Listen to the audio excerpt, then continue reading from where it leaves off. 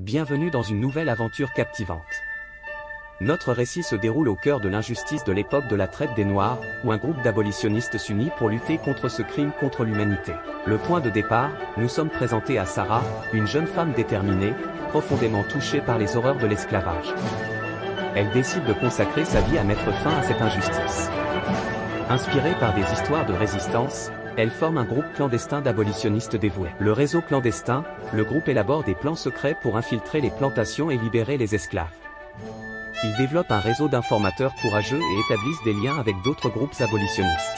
Chaque action est minutieusement planifiée pour éviter la détection des esclavagistes. Les risques et les récompenses, Sarah et son équipe affrontent des dangers constants, des patrouilles de chasseurs de fugitifs aux menaces de représailles. Malgré les risques, ils continuent leur quête, convaincus que la justice et la liberté valent tous les sacrifices. La révolte et la résistance, l'histoire atteint son point culminant lorsque le groupe d'abolitionnistes découvre un complot visant à intensifier la traite des Noirs. Ils mobilisent les esclaves pour se révolter contre leurs oppresseurs, déclenchant ainsi une résistance massive. Victoire amère, la quête de la justice aboutit à une victoire amère. Bien que le groupe ait réussi à libérer de nombreux esclaves et à perturber le commerce, il réalise que la bataille pour l'égalité est loin d'être terminée.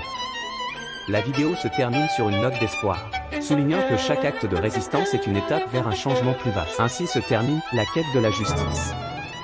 N'oubliez pas de partager, de liker et de vous abonner pour plus d'histoires captivantes de notre passé et des leçons que nous pouvons en tirer pour l'avenir.